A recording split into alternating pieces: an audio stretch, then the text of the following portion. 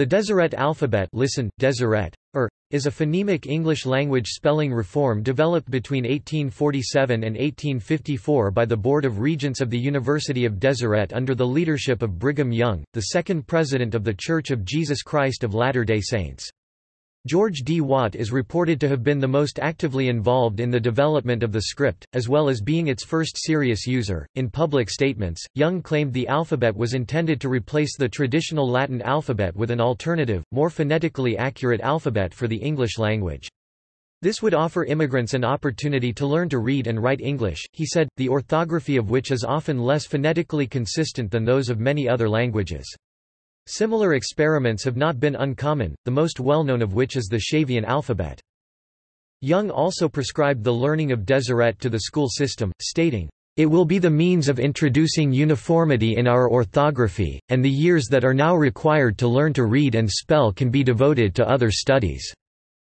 During the alphabet's heyday between 1854 and 1869, books, newspapers, street signs and correspondence used the new letters, but despite heavy and costly promotion by the early LDS Church, the alphabet never enjoyed prolonged widespread use and has been regarded by historians as a failure.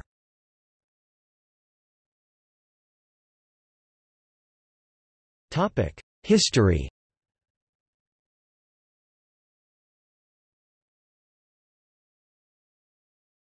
Topic: Creation 1847 to 1854. The Deseret alphabet was developed primarily by a committee made up of the university's Board of Regents, members of which included church leaders Brigham Young, Parley P. Pratt and Heber C. Kimball.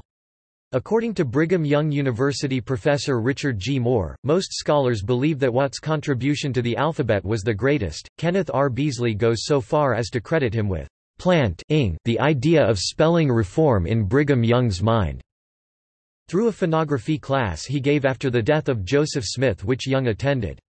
In addition, Jules Remy reported that William W. Phelps helped work out the letters before they decided on the Deseret alphabet, the attention of the Board of Regents was mostly focused on Pitman-style alphabets, and in April 1847 Brigham Young nearly purchased 200 pounds 91 kilograms of lead type to print books using Pitman's orthography.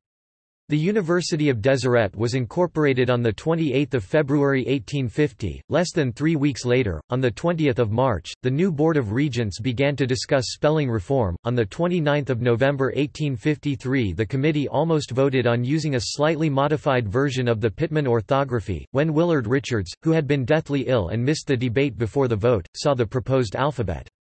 Richards was quick to condemn it, saying to the committee, "...those characters, less than pre greater than slash pre greater than dot dot dot seem like putting old wine into new bottles. I am inclined to think less than pre greater than slash pre greater than dot dot dot we shall throw away all characters that bear much resemblance to the English characters, and introduce an alphabet that is original. These words persuaded Brigham Young and the rest of the committee, and George D. Watt then endeavored to create an original alphabet. Less than two months later, on 19 January 1854, the Board of Regents finally approved the first 38-letter Deseret alphabet. Topic use by the Mormon pioneers 1854 Upon the alphabet's acceptance, its first user was its principal architect, George D. Watt, who began writing the meeting minutes of the early bishops in a cursive form of it in 1854. Almost immediately after its publication, church members began experimenting with it, and by 1855 travel writers Jules Remy and Julius Brenchley published a chart of the new alphabet which differed heavily from the 1854 version. Some early Mormons, such as Thales Hastings Haskell, began writing their personal journals in the new alphabet. Remy further reported that during his time in Salt Lake City, he saw signs on the street and above shops using the new alphabet. After its approval by the Board of Regents, Brigham Young testified before the Utah Territorial Legislature that the new alphabet should be thoroughly and extensively taught in all the schools. Some teaching in Utah schools did take place. John B. Milner taught the alphabet in Provo, Lehi, American Fork, and Pleasant Grove, while evening classes were taught in Salt Lake City and Farmington. After several months' practice writing with the new alphabet, Watt wrote to Brigham Young that he was unhappy with it, and proposed a complete overhaul, which was never followed up on. Word of the new alphabet soon spread outside Utah, and most press reports in non Mormon papers were critical. Other writers, however, acquainted with other phonotypic and stenographic alphabets, ranged from neutral descriptions of the new alphabet to praise. Until this point, all the printed material mostly just charts of the alphabet and its standard orthography equivalents had been produced with large wooden type, which was not suitable for printing at small sizes. Because the alphabet was wholly unique, no font existed, so in 1857 the Board of Regents appointed Erastus Snow to procure metal type from St. Louis-based font foundry Ladew and Peer. However, in May 1857 the Utah War began, and Snow left St. Louis to support the Mormon pioneers. During the war, Ladew and Peer kept working on the type, and the punches and matrices were delivered in the winter of 1858. The first use of the new type was to make a business card for George A. Smith, an early Mormon historian. In 1859, with the new type in hand, the Deseret News began printing with it. It would print one piece per issue in the new alphabet, usually a quotation from the Book of Mormon or the New Testament. However, this only lasted for one year, after which the practice stopped. It would start again in May 1864 and stop permanently at the end of that year. Ben Pitman, the brother of Isaac Pitman, was also interested in spelling reform, and by 1864 had published his own orthography, which the Board of Regents considered adopting. However, they ultimately decided not to and used the opportunity to reaffirm their commitment to the Deseret alphabet. Brigham Young blamed the failure of this first attempt at reform on the ugliness of the type developed by Ladew and Peer, and so he commissioned Russell's American Steam Printing House, a New York City-based font foundry, to design more pleasing type. The result was the Bodoni-esque font at right that was used to print all of the books in this period. In an 1868 article, the Deseret News wrote that the characters, to a person unaccustomed to them, may look strange, but to the eye to which they are familiar they are beautiful. At least four books were published in the new alphabet, all transcribed by Orson Pratt and all using the Russell's House font. The first Deseret Alphabet Reader 1868, the second Deseret Alphabet Reader 1868, the Book of Mormon 1869, and a Book of Mormon excerpt called First Nephi Omni 1869. Considerable non-printed material in the Deseret alphabet was made, including a replica headstone in Cedar City, Utah, some coinage, letters, diaries, and meeting minutes. One of the more curious items found in the Deseret alphabet is an English Hopi dictionary prepared by two Mormon missionaries. It sat unappreciated in handwritten form at the LDS Church archives until 2014, when Kenneth R. Beesley, a writing system researcher and computer scientist, noticed its significance and transcribed it into standard written English.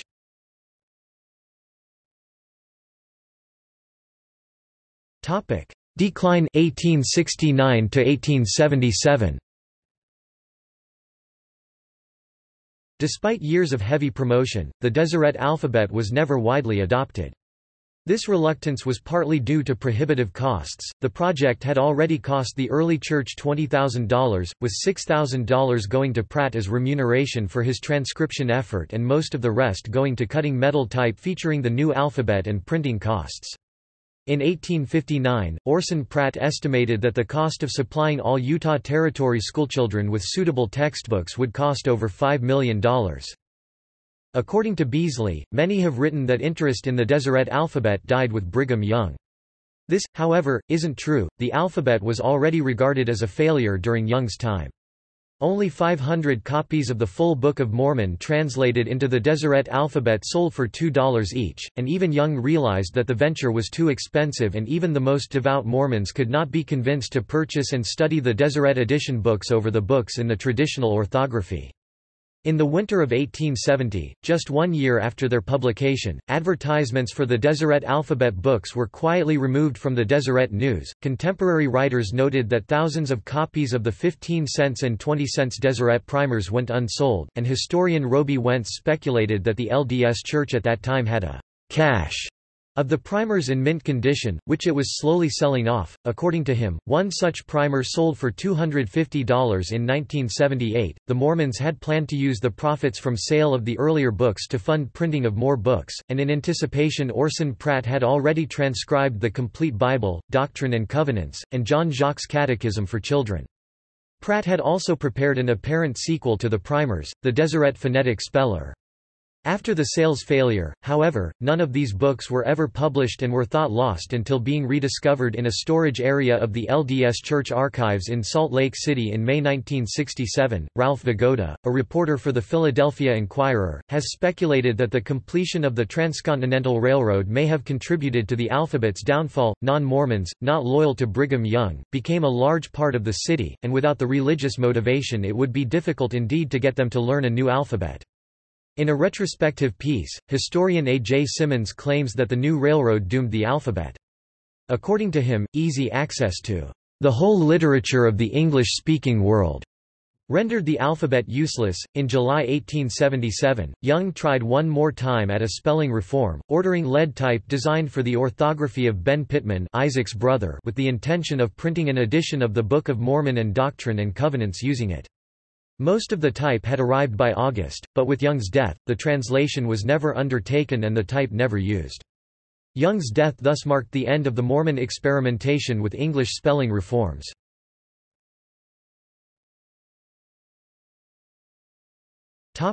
Rediscovery in the computer era Modern digital typography has reduced the costs of typesetting substantially, especially for small print runs. As long as a freely licensed Deseret alphabet font and a font of the standard orthography have similar inked surface areas, printing a book in the Deseret alphabet using modern technology would have a similar cost as printing a book in the standard orthography. Film director Trent Harris used the Deseret alphabet in his 1994 satire of Mormon theology, Plan 10 from Outer Space, where it features as an alien language used on a mysterious plaque of Kolob. During the 1996 Utah Centennial celebration, an activity book for children was distributed, within which one of the activities was for a child to write their own name in the alphabet. The book says that a child who does this will be the first kid in 100 years to write their name in the Deseret alphabet. Also in 1996, Buffalo River Press published a reprint of the Deseret First Book, of which only 10,000 were originally printed. The entire Book of Mormon in the Deseret alphabet has been likewise reprinted, as only 500 copies from the original print run exist, and they can sell on eBay for approximately equals $7,500 as of 2004. In 1997, John Jenkins uploaded a free three-part PDF of the so-called triple combination that is, a combined Book of Mormon, Doctrine and Covenants and Pearl of Great Price. Beginning around 2007, the Republic of Molossia Est, 1999, a micronation surrounded on all sides by the state of Nevada, used the Deseret alphabet on some signs to give their territory a more foreign appearance. The official website of the micronation cautions that any former or current use of the Alphabet does not imply support of or adherence to LDS teachings or practices. In 2015, the micronation's stance towards the alphabet changed. After that date, the alphabet is officially described as a formerly Used writing system and not a writing system in current use. John Jenkins has gone on to publish many classic pieces of English literature in the Deseret alphabet, such as Alice in Wonderland, Pride and Prejudice, and The Wonderful Wizard of Oz. Owing to the character set's inclusion in Unicode, most of the original books and many of the original manuscripts have been transcribed into plain text, and, when this is not possible due to discrepancies between the Unicode reference glyphs and the documents, latex.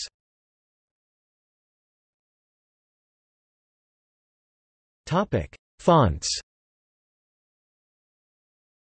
The first digital font for the Deseret alphabet, called Deseret, was designed by Greg Kearney as part of work he was doing for the LDS Church History Department in 1991. The font was used in an exhibit that year.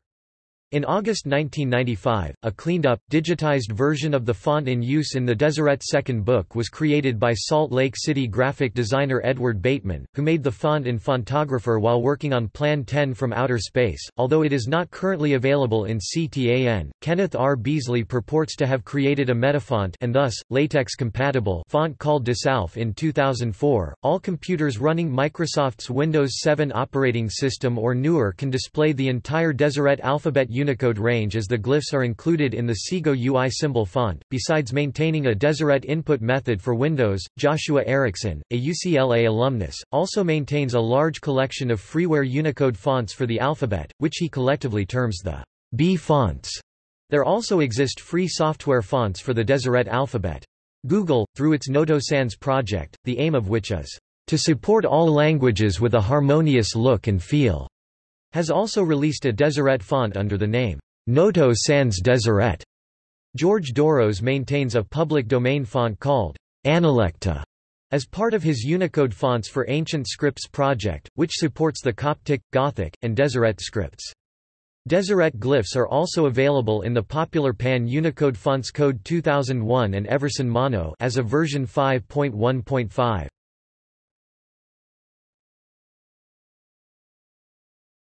Topic: Alphabet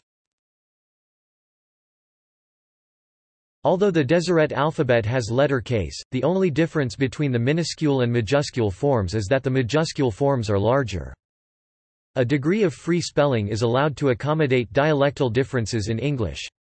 For example, in the Deseret edition of the Book of Mormon, the word, wherefore, is written as, herefore, which means that the translator of the book did not exhibit the wine-whine merger. Those who do exhibit the merger might instead prefer the spelling, to match the pronunciation, were for, or, depending on dialect, perhaps, ref r. The alphabet was designed to be able to write all of the vowels used in the dialect spoken in 19th-century Utah. The vowel inventory has also been attributed to the fact that unlike other American pioneers, the Mormon pioneers were from New England as opposed to the American South. As such, many of the vowels in the Deseret alphabet have since merged in the modern era, they are no longer distinguished in many dialects of English. Speakers who exhibit the father-bother merger no longer distinguish, and, and so both father and bother would be written with, as, and, as opposed to as, and. For those with the cot-caught merger, and, are no longer distinguished, both cot and caught are thus written by them as, Kate, in the case of North American English and as, kt, in the case of Scottish English. For those exhibiting both mergers, both would be written kt.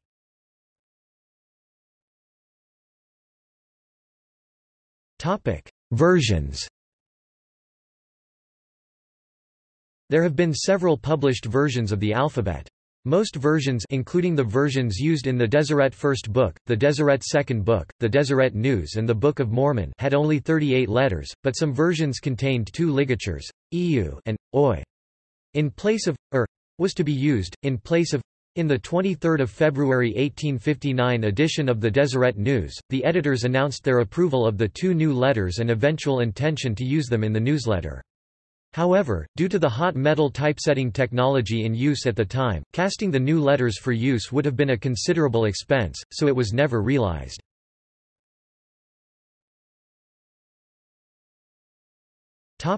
Representation of The Deseret alphabet does not have a distinct symbol for the mid-central vowel schwa. The lack of a schwa has been cited as the biggest phonological flaw in the alphabet. Because of the lack of a schwa, the author must write the sound that would be used if the word was stressed. For example, the word enough is commonly pronounced nf, but when it is stressed as in a declaration of irritation it is pronounced inf. The Deseret spelling of the word, reflects that stressed pronunciation does not have an inherent stressed value in a word, as is often the case before r, then it is written as. Marion J. Shelton, an early Mormon missionary, proposed the addition of a new glyph to represent the schwa, a simple vertical line of the same height as other Deseret characters with a similar appearance to the Turkish dotless i, I. The addition of this glyph did not catch on among his contemporaries, however, and no document outside of ones penned by Shelton makes use of it. Shelton used the new glyph in an 1860 letter to Brigham Young reporting on a recently completed mission to the Paiute people.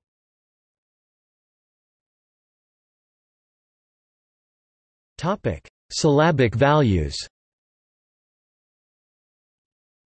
Each letter in the Deseret alphabet has a name, and when a letter is written on its own it has the value of that name. This allows some short words to be written with a single letter, and is called a letter's syllabic value. The most common word in English, the, is written simply, as the letter's name as, I, and that is the stressed pronunciation of the word. The consonants with syllabic values are, wu, yi, ha, p, b, b, t, t, chi, g, gay, and the, the. Syllabic values do not apply within words, although this was formerly the case. In early documents, Watt writes, people, as, with the expectation that readers will interpret the first, as, pi, but the second, as, p. This contextual value switching was soon done away with, so in later documents, while b is written, b's is written. In 40-letter versions of the alphabet which include the letter, eu which represents, Jew, the letter, when standing alone can be used to represent the word, u.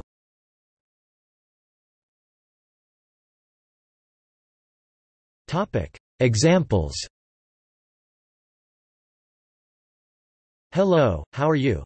I'm doing great, thanks. It was nice seeing you, but I've got to run. Take care.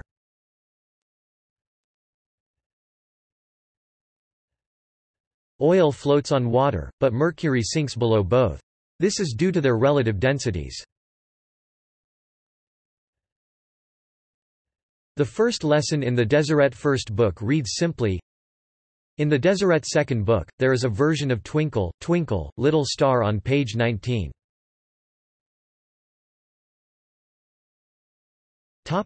Handwriting There were two main handwritten forms of the Deseret alphabet, a cursive version and a printed version. Over the lifetime of the alphabet, the cursive form fell out of favor among most users of the alphabet and by 1856 no more cursive documents exist. Its impact on the glyphs can however still be plainly seen in the loops of certain characters such as and the earliest surviving versions of the Deseret alphabet, from 1853 one year before its January 1854 approval, have printed and cursive forms side by side, suggesting that a cursive form was part of the plan from the very beginning.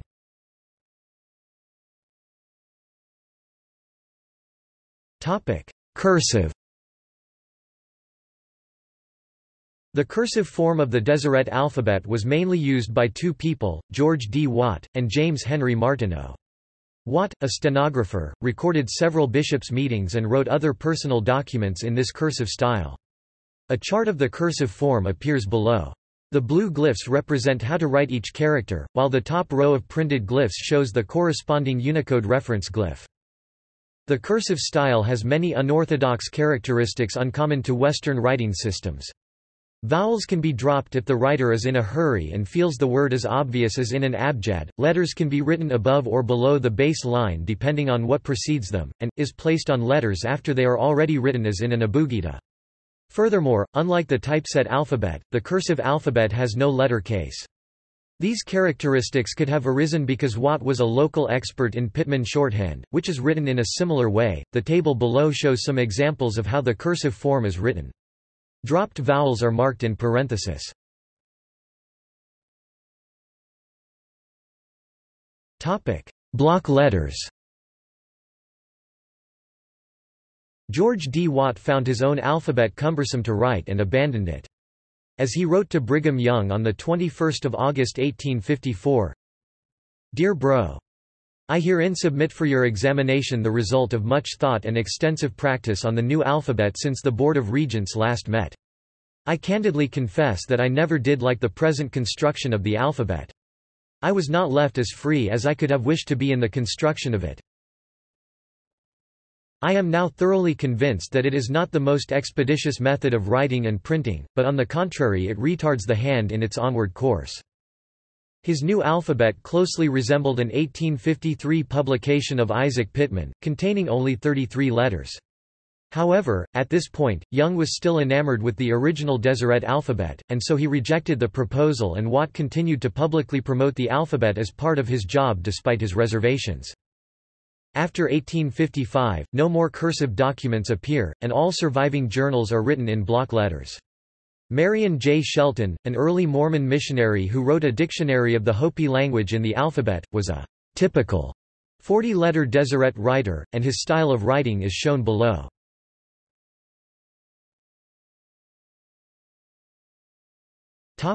Design criticism The Deseret alphabet was purposely designed so as to not have ascenders and descenders. This was envisioned as a practical benefit for the alphabet in an era of metal type. After many uses, the edges of type sorts become dull, and narrow ascenders and descenders are most prone to this effect. While well intentioned, this lack has been described as a catastrophic mistake that makes type look monotonous. and makes all words look alike. Some have drawn comparisons between the alphabet and the Old Turkic script, saying that writing in the new alphabet could be mistaken from afar as a Turkish tax list. The Mormon pioneers were apparently aware of the problems caused by its monotony. President Young has decided that the letters are not so well adapted for the purpose designed as it was hoped they would be.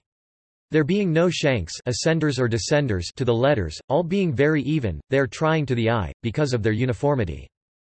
Other criticism of the design was harsher still. In an 18 December 1857 editorial in the Boston Globe, the alphabet was described as being so arranged and named as to cause the greatest possible annoyance to outsiders, and the design of the letters as incomprehensible as the hieroglyphics of the Egyptians.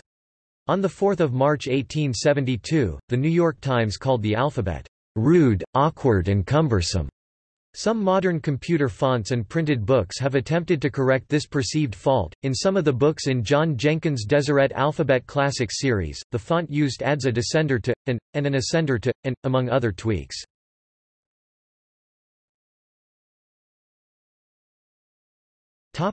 Other motives. Officially, the Deseret alphabet was created to simplify the spelling of English words for the benefit of children and English as a second language learners. Some of the alphabet's contemporaries, however, posited an alternative motivation for its development, increasing the isolation of the early Mormons.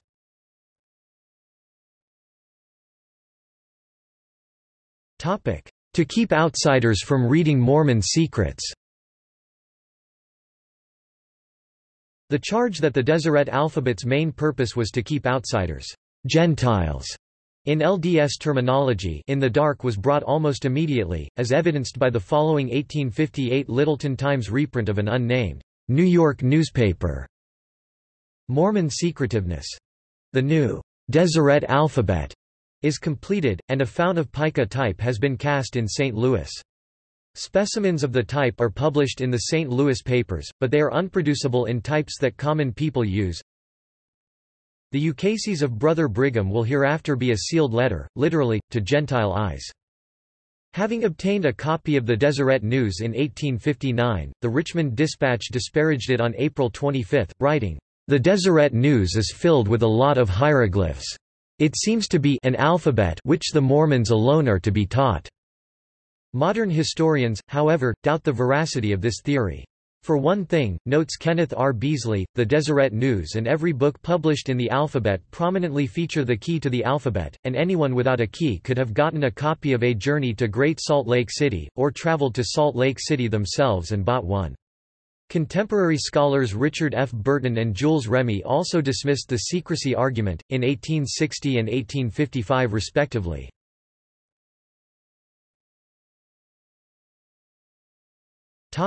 To keep Mormons from reading outside literature With the impending completion of the Transcontinental Railroad, the Mormon pioneers would have easy, cheap access to publications from the East, including yellow backs, penny dreadfuls, pulp magazines, and other often scandalous or dirty publications that were rising to prominence in the 19th century.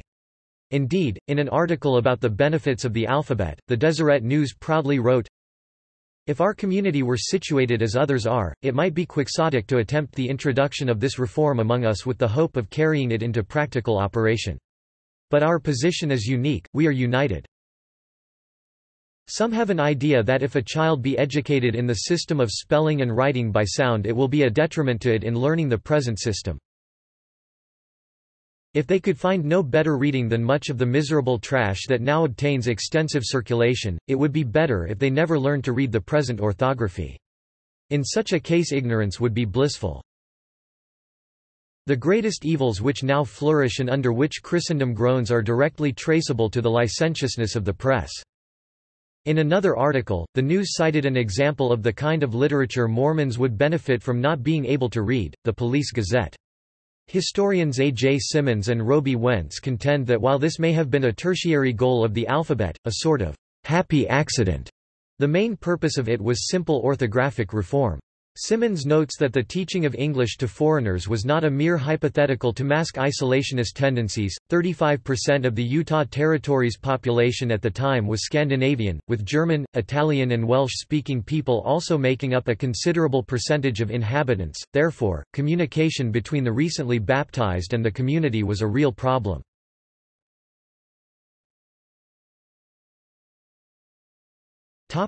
Encodings The Deseret alphabet U plus 10400 U plus 1044F was added to the Unicode standard in March 2001 with the release of version 3.1, after a request by John H. Jenkins of Apple, making it one of the first scripts to be added outside of the basic multilingual plane. The letters EU and OI were added to the Unicode standard in April 2003 with the release of version 4.0.ACCORDING to Kenneth R. Beesley, who submitted the proposal to expand the encoding. Unicode fonts based on the current heterogeneous collection of glyphs will be useless for any practical typesetting of 40-letter Deseret alphabet documents. This is because the Unicode Consortium chose to use glyphs from 1855 as the reference glyphs, while by 1859 those glyphs were already outmoded and replaced with newer glyphs. Beesley thus recommends using LaTeX along with his Metafont desalph font to typeset Deseret text, but fonts which use the alternate glyphs for the two code points in question would also work for transcription of 40-letter Deseret texts written during and after 1859. On 25 February 2016, the Library of Congress approved an ALA LC romanization for the Deseret alphabet. The table can be used to display approximations of titles in non-Latin scripts using the Latin alphabet for use in library catalogues that do not support non-Latin alphabets.